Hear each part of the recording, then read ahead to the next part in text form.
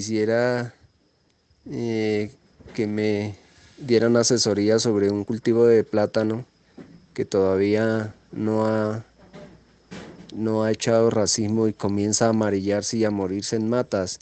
¿Qué me recomiendan para echarle? Les agradezco el que me pueda dar información. Muchas gracias. Yo aquí tenía ese problema con las mías. Buenos días, primero que todo, ¿sí o no? Yo tenía aquí ese problema con las matas mías, casi así de ese mismo, de esa misma calidad.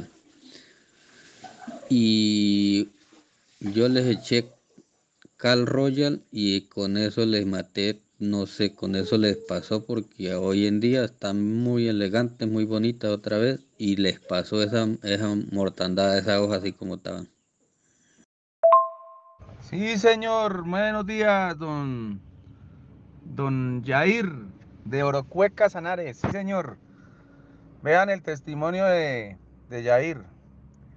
Se le aplicó Cal Royal, que es el mismo corrector de pH. Se conoce Cal Royal allá por esa zona. Lo produce la misma empresa y el corrector de pH es lo mismo, don Marcos.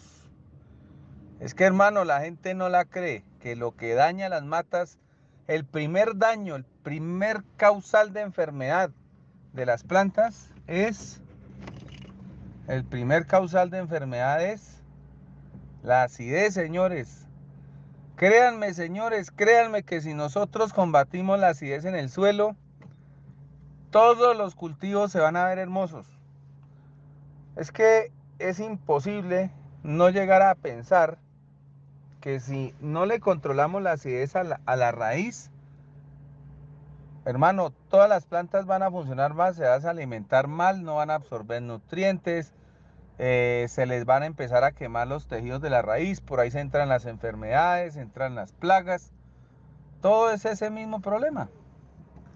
Entonces, señores, hagamos caso, controlemos la acidez.